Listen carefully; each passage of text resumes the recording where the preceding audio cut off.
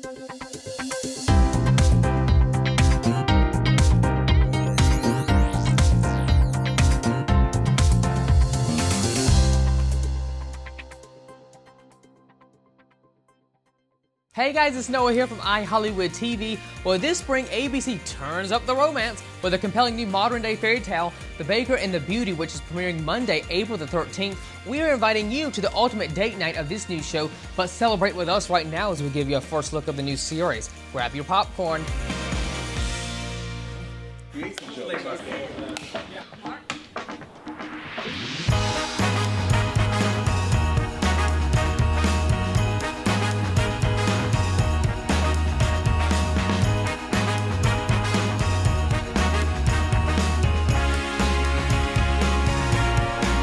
Baker and the Beauty is a heartfelt romantic comedy centered around a family whose eldest son comes across an international celebrity and has a crazy wild night in Miami. This celebrity comes into our life through my oldest son.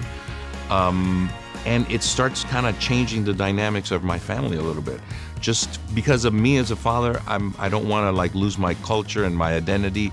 And my plans were always to leave that, that bakery to my eldest son and now I see that he's getting pulled in different directions, and so is my other son.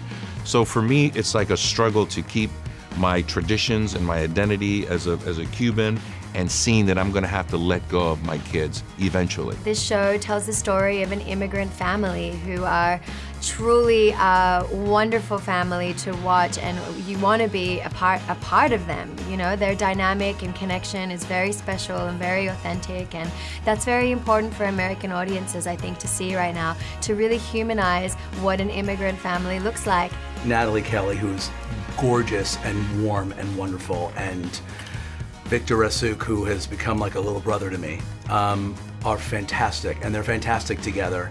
And they, off camera, they debate and bicker the way two people who've known each other for years do, and they joke with each other like two people who've known each other forever.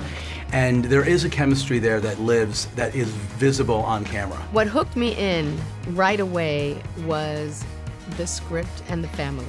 Just the cast of characters. I mean, the situation was funny, like this whole, you know, working class, and then this famous person, you know, with celebrity being so huge, you know, in our in our society now. It's like, well, what would happen? What does that look like? What really got to me was the idea of no matter what, you go back to family, and you know, that's that's a story theme that feels universal, but we kind of just miss it.